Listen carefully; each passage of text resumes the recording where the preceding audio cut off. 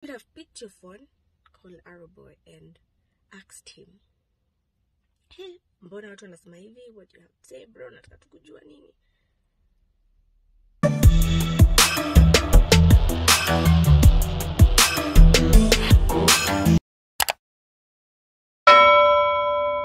Now, welcome to Entertainment Channel. I go by the name of Jemomore. Kama kawaida, if you're new here, please subscribe to my channel. By the way, if you're watching this and would you subscribe, tafadhali, end up chini and subscribe to my channel. And you can also like my videos. Yes, now today we're going to talk about the hot topic of the day. That is the beef between Jalango, Nadia Mukami, and Arrowboy. Now, Nadia Mokami has finally come out to respond to the rumors that she's expecting a first child together with Arrowboy. So, Nadia Jalango revealed it yesterday. Alafu Arrowboy akaenda on Instagram basically to to express his displeasure with what Jalango did because I think walikuwa wanataka hii kitu iko ya secret. Maybe naona hii ball maybe imekuwa for a few weeks. Maybe naona they didn't want the exposure because it's too early. So Arrowboy jana alienda on his Instagram akaambia watu wache wache kelele. Basically alikuwa anaambia Ja- Jalango anaropokwa sana. So Jalango na yeye akaenda akarespond to what Arrowboy had said by basically saying yeye ataendelea ataendelea tu kuropoko kama ni kuropokwa. to Nadia and uh, Arrowboy mm. kama nilikuwa nimeropoka mm. eh, mm. nitaropoka tu tena and that made Nadia Mukami to go on Instagram and actually address the whole situation. Making this video to address Jalango because I don't want to write long text on my Insta story. Just say it once and for all. So he can read my lips. yeah. I'm trying to be sober, respectful. I've never made a, a video addressing anyone. This is my first time and my last one. I'll never do it. But what you did, I don't care how rude your follow up video was was low, demeaning, disrespectful. Period. Okay? So you invited us to your home. Number one, I was sick. I didn't even want to go.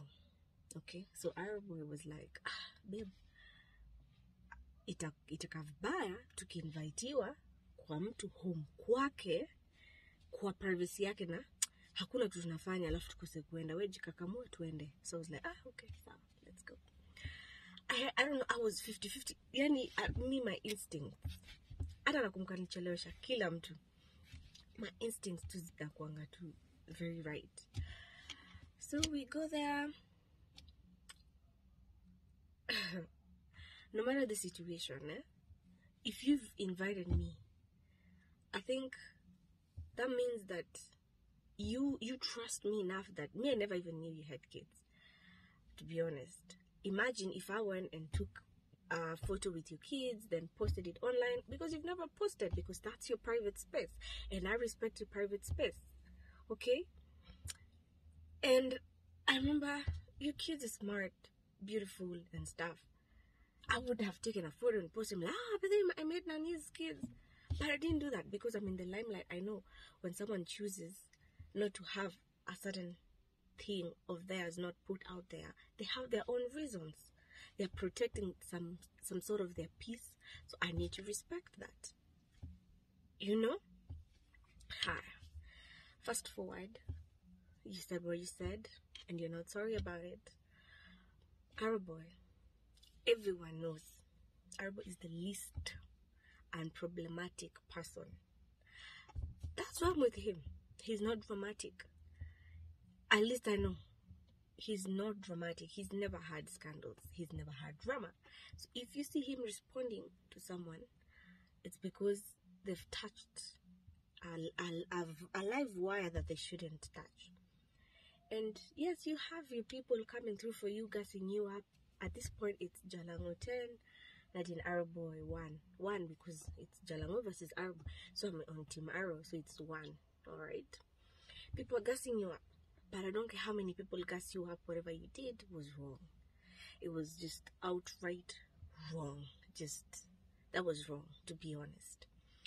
If it was a blogger or someone, and if a promoter or a, a, like a fan, I wouldn't even care. But you invite to your personal space so that you can open your mouth. Then the least, the, the next thing that follows is you trying to justify it and say you're not sorry. Should ask yourself. Arrowboy doesn't pick fights, but he's offended. Me, I'm offended, but me, if I ever meet you, I'm gonna tell you my peace of mind, one on one. We've been through a lot. We have our own reasons as to why we keep our things to ourselves. We have our angel. Ah, I don't wanna cry. In heaven. So you should have picked Fuck, I cry. Um, I, I, don't wanna. Sitaki kufanya. You should have picked your phone, called Arrowboy, and asked him, hey, mbona watu hivi? What you have to say, bro? Nini? Because you never know why people do certain things. Especially if you, if it's fans. I mean, people have been talking, people have been insulting, and we don't care. We don't, cause sisi mimi naye tunajua. the nigga lost his safari and lost his dad last year. Two people in a year. So, what she did, I don't care if the public thinks you're right, was low, cheap. God bless your ass. Yes, that was Nadia Mukami hapo. As you can see, she was a bit emotional. I think pregnancy wako wanataka watu wajue. I think maybe it's in the early stages. So wako wanataka hii kitu kama hii. Wako wanataka watu wa expose but like I said in the previous video, I don't feel like what Jalango did was wrong because he's in the entertainment business so anafaa kuongea juu ya celebrities. So I think Nadia Mukami and Arrowboy should have done a better job in hiding their pregnancy because I, th I think hii situation yote inaletwa because unajua juzi Arrowboy na demo kami I think walikuwa wameendelea kutembelea Jalango huko Kisumu so I think hapo ndio Jalango alitoa the information. But anyway tell me the comment section. What do you think about the story? What do you think about the, this whole situation between Jalango Nadia Mokami and Aroboy? do you think it was right for Jalango to reveal the fact that Aroboy and Nadia Mokami are expecting their first child? Tell me in the comment section and also remember to follow me on Instagram at jemomore.ke and I'll see you in the next one